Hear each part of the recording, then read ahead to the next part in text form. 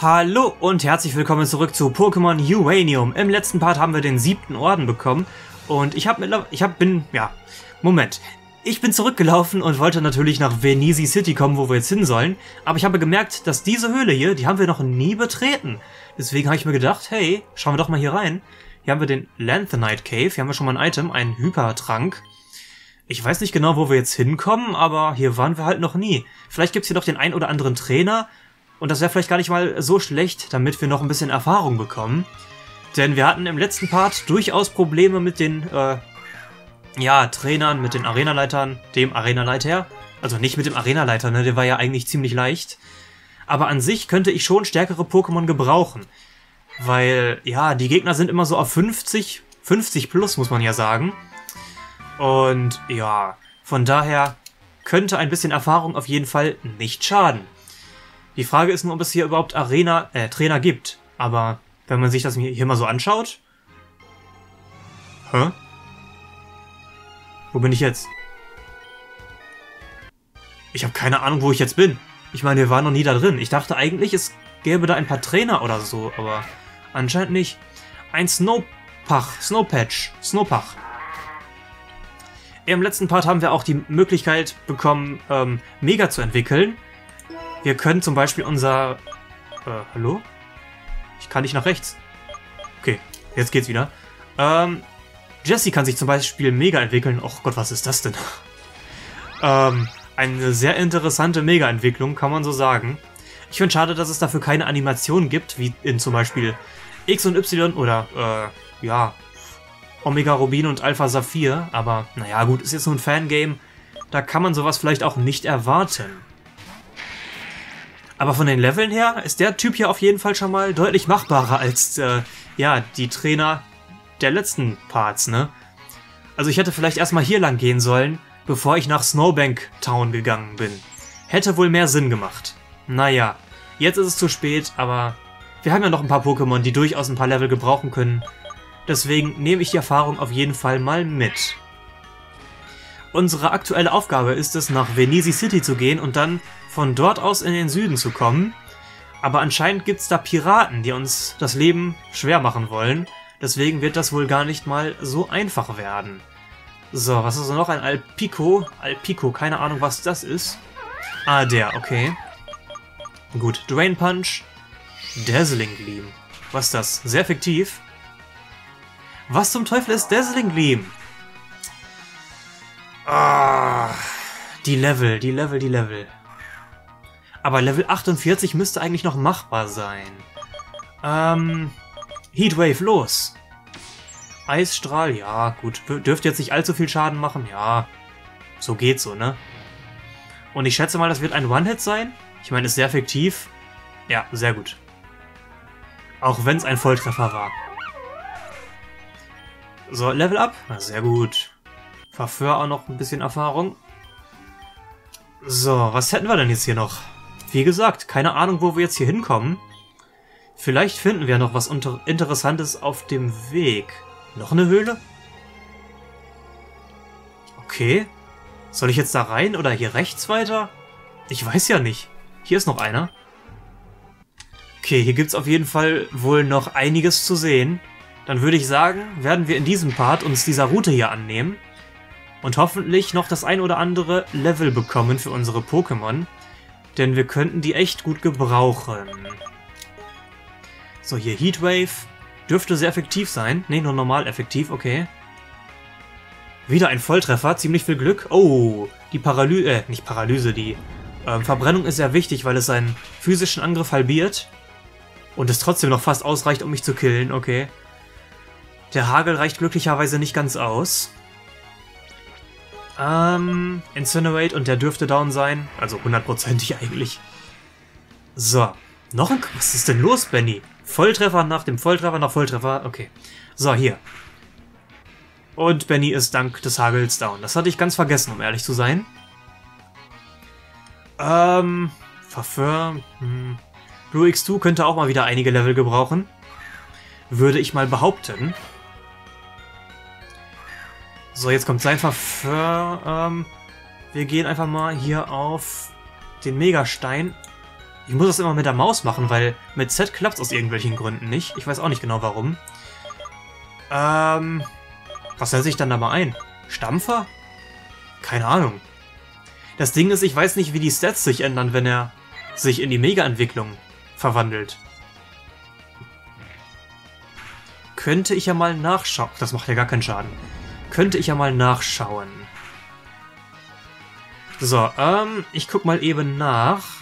So, Pokémon Blue X2 und hier. Deutlich höherer Spezialangriff, okay. Das ist gut zu wissen. Dann gehe ich einfach mal auf Donnerblitz oder Sir Donnerblitz, ja. Da haben wir immerhin eine Chance, den zu paralysieren. Macht zwar nicht allzu viel Schaden, aber... Äh, ich weiß nicht. Macht Surfer mehr Schaden? Oder soll ich auf, auf Haido kennen gehen? Hier, komm, mal schauen, wie viel Schaden das macht. Müsste aber eigentlich auch nicht sehr effektiv sein. Och Mann, der hat einfach keine Schwäche, die ich hier ausnutzen könnte mit Blue X2. Alles macht verdammt wenig Schaden. Gut, dann wechsle ich mal aus. Oder? Ach, ich kann ja gar nicht wechseln, stimmt. Großartig. Äh. Ja gut, wieder ein Pokémon down. Ich stelle mich hier auch irgendwie wahnsinnig dumm an. Aber das Problem ist halt, das Verför hat eigentlich so gut wie keine Schwäche. Nur Drache und... Fee? Fee-Schwäche? Keine Ahnung. Ich glaube schon, ja. Also Drache und Fee. Vielleicht noch Boden oder Kampf? Das kann gut sein, aber das Problem ist halt, dass Jesse schon down ist. Barand, genau, das ist der Drache. Dagegen kann ich ja einfach mal Dazzling Gleam einsetzen. Stimmt, Dazzling Gleam hat ja... Ja, stimmt, das ist die Fee-Attacke. Richtig, haben wir ja auch auf Kupo. Ganz vergessen. Okay. So, hier ein bisschen Erfahrung für die beiden. Was hast du noch? Ein Trackton. Okay. Da wechsle ich da mal. Was habe ich denn noch? Äh, Im letzten Part, oder nee, nicht im letzten Part, aber vor einigen Parts hat uns das Specton einige Probleme bereitet. Gehen wir mal auf Dazzling Gleam. Dürfte normal effektiv sein, wegen der Stahl, wegen dem Stahltyp. Ich glaube nicht, dass das ausreicht, sein Iron Head. Nein. Gut, dann werde ich Kupo, Kupo mal opfern müssen hier, weil auswechseln bringt halt echt nichts. Ich könnte auch auf... Nee, ich bleib bei Dazzling. Gleam, okay. Steigert sein, na, sein Angriffswert, okay. Und seine In Initiative nochmal. Ähm, hm. Jetzt ist die Frage, ob... Ob ich gleich mit Tula... Nee, Tula kann nicht schneller sein als der. Nein, kann eigentlich nicht sein. Ah, das ist eine blöde Situation hier. Irgendwie sind die letzten paar Parts skilltechnisch eher nicht so gut gewesen. Aber man muss schon sagen, die Pokémon der Gegner sind schon immer sehr stark. Das kommt mir doch nicht nur so vor. Die sind einfach wahnsinnig stark alle. So, ich habe hier Priorität auf Eisschad, deswegen dürfte der down sein. Yep. So, dafür kriegen wir ein bisschen was an Erfahrung. Sehr gut. Und Terlat, okay. Und wir gehen mal auf Eisstrahl und der dürfte down sein. Oh, der ist schneller, stimmt. Reicht das? Oh Gott, das ist eine Menge Schaden. Weißt du, das Ding ist halt... Ähm, Verför hat doch die Fähigkeit, dass physischer Angriff, äh, physischer Schaden halbiert wird. Aber dennoch macht das so wahnsinnig viel Schaden. Ich verstehe es manchmal nicht so ganz. Hat, er hat doch die Fähigkeit, oder irre ich mich da gerade? Ja, halbiert den Angriff von, äh, den Schaden von physischen Attacken. Also, keine Ahnung. Seltsam. Ich darf mal wieder einige Beleber einsetzen. Ansonsten müsste ich den ganzen weiten Weg zurücklaufen. Aber wir haben ja das Geld, von daher benutze ich einfach mal die Items. Hashtag YouTube Money.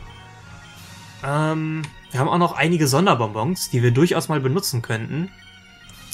Ähm, gehen wir hier auf die Supertränke. Wir haben noch zwei. Okay. Hier und hier. Und ja, ansonsten müssen wir halt die Hypertränke, Hypertränke benutzen. So, und so. Gut, was haben wir noch hier? Jetzt müssen wir hier quasi nochmal in die Höhle rein. Wollen wir mal schauen, was es hier noch so gibt. Hm. Ein weiterer Hypertrank, okay. Ich bin mal gespannt. Vielleicht gibt es ja hier sogar ein legendäres Pokémon oder so. Weil an sich müssen wir ja hier nicht hin. Das ist ja ein optionaler Weg. Irgendetwas Interessantes wird es hier wohl ja geben. Ich glaube nicht, dass das komplett, komplett nutzlos ist. Wäre zumindest sehr seltsam. So. Hier haben wir schon mal ein Item. Und zwar ein ähm, AP Plus, oder? Glaube schon. Ein Verför, okay. Davon haben wir schon eins. Ich werde es aber trotzdem mal besiegen, einfach um die Erfahrung mitzunehmen. Wir dürften auch schneller sein und es dürfte ein One-Hit sein, von daher nehme ich mal die Erfahrung eben mit. Kann ja nicht schaden. So, der wäre down. Wobei, auch das sind nur 257 für beide. Das Problem ist halt echt, wenn man den EP-Teiler irgendwo angelegt hat, dass das eigentliche Pokémon kaum noch Erfahrung bekommt. Aber Farfeur ist momentan halt echt irgendwie nicht allzu stark. So, gehen wir hier lang. Da unten war noch ein Item, das ich gerne haben würde. Deswegen gehen wir mal zuerst hier lang. Was hätten wir hier? Ähm, Eisstrahl, gut, haben wir schon auf ähm, Verför, deswegen brauchen wir das nicht unbedingt. Aber gut zu haben ist es ja trotzdem. So. Jetzt hier hoch oder da runter oder wie ist das? Ich habe doch keine Ahnung, wo ich hier lang soll. Hier hoch. Da wäre zumindest ein Item. Wenn ich da irgendwie rankommen würde. Ähm... Okay, so komme ich da hin. Was hätten wir hier? Ein KP Plus, okay. Äh, äh, äh, äh. So, so, so. Hier bräuchte man Kaskade. Wir haben nicht Kaskade, verdammt. Bin ich jetzt hier ernsthaft umsonst hingekommen? Das wäre ein bisschen blöd. Och nein. Ich dachte, ich wäre hier irgendwie auf dem richtigen Weg zu irgendwas Coolem, aber anscheinend nicht. Vielleicht ist da links noch irgendwas? Ich weiß ja nicht. Ansonsten müssen wir schon den Rückweg antreten. Hier ist auf jeden Fall noch irgendetwas. Aber keine Ahnung, ob es hier noch deutlich weitergeht. Oder ist zumindest noch ein Weg. Ein Eingang oder Ausgang. Es geht weiter in das Höhleninnere anscheinend. Ein Linkheit, okay. Flüchten wir einfach mal. Yep. Da hätten wir noch ein Item, das ich gerne mitnehmen würde. Die Höhle, oder zumindest dieser Teil der Höhle, erinnert mich gerade so ein bisschen an diesen Ort, wo man Kyogre fängt in Alpha Saphir oder äh, Saphir. Hier, sieht ein bisschen so aus, finde ich. Keine Ahnung, kommt mir gerade so vor. So. Was hätten wir jetzt noch hier? Da ist schon mal nichts, dann gehe ich mal da runter. Hier lang? Oder wie ist das? In der Mitte wird ja wohl irgendwas sein. Das sieht schon sehr sonderbar aus. Muss man schon so sagen. Ich hoffe, auf der nächsten Route wird die Levelkurve dann nicht wieder so krass ansteigen wie bisher. Das wäre zumindest sehr nett. Ist hier noch irgendwas im Wasser? Ansonsten wäre auch hier wieder das Wasser sehr nutzlos. Äh, das ist eher nutzlos, okay. Gut, dann gehen wir da nochmal rein in diesen Eingang, Ausgang, Ausgang, okay. Hä? Sind wir jetzt wieder zurück? Bin ich einmal im Kreis gelaufen? Wie bin ich denn bitte einmal im Kreis gelaufen? Bin ich jetzt vollkommen blöd? Ernsthaft? Moment mal, Moment mal. Hä? Ach, Moment, das war... Genau, stimmt. Ah, ich verstehe, okay. Dann sind wir quasi einmal durch, ne? Und der einzige Ort, wo wir noch hingehen könnten, wäre halt der Ort, wo Kaskade ist, aber wir können ja da halt nicht hoch, deswegen ist das eher nutzlos. Ja, hier, der Frosulo. Ja, ja. Muss mir jetzt hier nicht extra noch Ärger bereiten. So, flüchten wir. Und dann bitte zum Ausgang. Ah. Und dann müssten wir jetzt eigentlich zurück nach Venisi City. Keine Ahnung, ob es da einen schnelleren Weg hingibt, als einfach zu surfen, aber... An, ja, hm, ja, ich will nicht den ganzen Weg zurücksurfen. Das wäre echt sehr, sehr nervig. Aber ich glaube fast, dass wir das machen müssen. Ich benutze jetzt einfach mal einen, wobei die Hülle hier ist relativ kurz. Da brauche ich keinen äh, Schutz einzusetzen. Das sind nur irgendwie, das ist nur ein Raum. Ein Raum und dann sind wir wieder in der nächsten Stadt. Und von da aus wären wir dann auch schon wieder fast am Meer. Und vom Meer aus nach Venesi City, hm, dauert schon einiges an Zeit. Vielleicht werde ich das dann einfach mal rausschneiden, weil ganz ehrlich, anschauen braucht ihr euch das jetzt nicht, wie ich den ganzen Weg zurücklaufe. Ich schaue einfach mal nach, ob es hier irgendwo eine Bahn gibt. Das wäre vielleicht ganz hilfreich. Wollen wir doch mal schauen. Hier haben wir das Labor. Da war ja nichts mehr. Hier haben wir auch nichts, oder? Nur den Laden hier. Okay. Hier noch irgendwas? Nein. Pokémon Center. Da ist noch was. Ich muss auch, glaube ich, mal wieder heilen gehen. Deswegen mache ich das einfach mal. So, ja. Bitte. Ja, ja, ja. Ansonsten werde ich wohl den ganzen weiten Weg zurücklaufen. Ich frage mich wirklich mittlerweile, ob es Fliegen gibt in dieser Edition, in diesem Fangame. Es scheint echt nicht so zu sein. Der Professor hat es zwar das ein oder andere Mal eingesetzt, aber an sich... Wohl eher nicht. Äh, bringst du mich zurück irgendwo hin?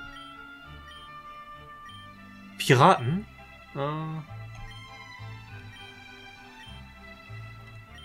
Ah. Der bringt mich anscheinend nach Venesi City zurück. Oh, das war eine Falle. Das ist ein Pirat.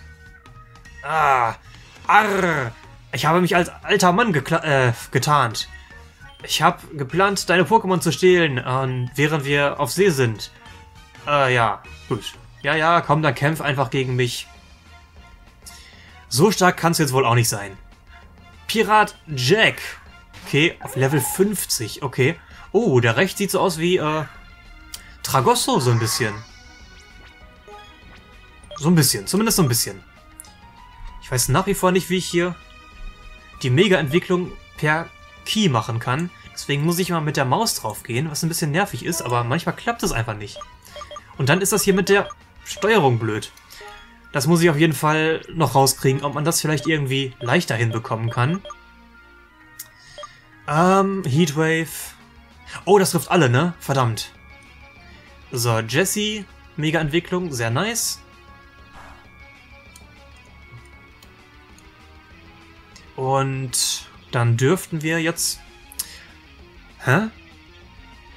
Ist der Geist? Ernsthaft? Der sieht nämlich nicht wie Geist aus, um ganz ehrlich zu sein jetzt. Ich dachte, der wäre vielleicht Unlicht, aber anscheinend nicht. Hm, seltsam. Okay, gut, dann gehe ich mit Drain Punch halt... Oh Moment, wenn der Geist ist, ne, dann dürfte Faint Attack gar nicht mal so schlecht sein. Ich wechsle Benny und gehe auf Blue X2, schätze ich mal. Ich muss sagen, Benny, ne? Am Anfang war der noch ganz gut, aber mittlerweile ist der eher eine Last geworden. Der ist halt nicht gerade schnell und sein Spezialangriff ist jetzt auch nicht so hoch. Ich weiß ja nicht. Schon ein bisschen seltsam. So, Verför kriegt wieder einiges an Erfahrung. Nice, nice. Blue X2, okay. Ähm...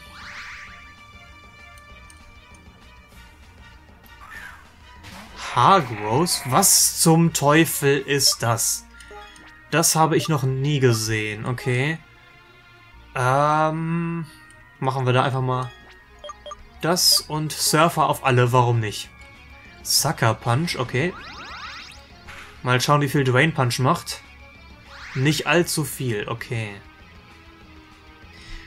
Surfer wird jetzt hoffentlich nicht allzu viel Schaden auf ähm, Jesse machen. Naja, so geht so. Aber Vilukat ist schon mal down. Immerhin etwas. So, die kriegen ein bisschen Erfahrung. So, ähm, der sieht aus wie ein Käfer-Pokémon. Deswegen gehe ich einfach mal auf Finte, weil da Step drauf ist. Und hier einfach auf Donnerblitz. Und wir haben Glück, dass der nie trifft mit seinem Sucker Punch. Ja, Finte war gar nicht mal so schlecht. Oh, und Jesse, Mega-Entwicklung Jesse hat sogar die Fähigkeit Bloodlust, was gar nicht mal so schlecht ist. So, hier nochmal Feint Attack und wir gehen nochmal auf Donnerblitz, weil warum nicht? Und der wäre down. Sehr gut. So, muss ich jetzt wirklich den ganzen Weg zurückschwimmen oder wie ist das? Kann ich vielleicht sein Boot stehlen? Ich weiß ja nicht. Hat er noch ein Pokémon? Nee. Arr. Arr. Silver, Silver wird äh, wütend sein, dass ich, äh, ja, gegen so einen Typen willig verloren habe. Okay, kann ich da jetzt rein? Moment. Hey, Moment mal. Ich habe den Kampf beobachtet. Der Typ war Pirat, oder? Ich wusste es doch. Normalerweise ähm, haben die Black Flag Pirates äh, hier oben im Norden nichts zu suchen. Sie sind, äh, ja, erst seit kurzem hier. Nun, wie dem auch sei, ich möchte mich bei dir bedanken. Du hast ihm eine Lektion erteilt. Hoffentlich wird er nicht wieder herkommen äh, zu Silverport Dingens. Falls es irgendetwas gibt, womit ich dir helfen kann. Ach Moment, ich kann dich nach Venesi City bringen, wenn du willst. Vielen Dank. Immerhin etwas. Okay, sehr gut. Dann würde ich jetzt gerne mal in das Pokémon Center geben, weil der eine Kampfgrad, der eine Kampfgrad war schon anstrengend genug für meine Pokémon anscheinend. Und ich würde sagen, im nächsten Part begeben wir uns in Richtung Süden, wo wir dann, weiß ich nicht genau, was wir da finden werden, aber anscheinend gibt's hier jede Menge Piraten, ähm, die wir dann bekämpfen werden. Ich bedanke mich vielmals fürs Zuschauen und würde mich freuen, wenn ihr das nächste Mal wieder einschalten würdet. Bis dann!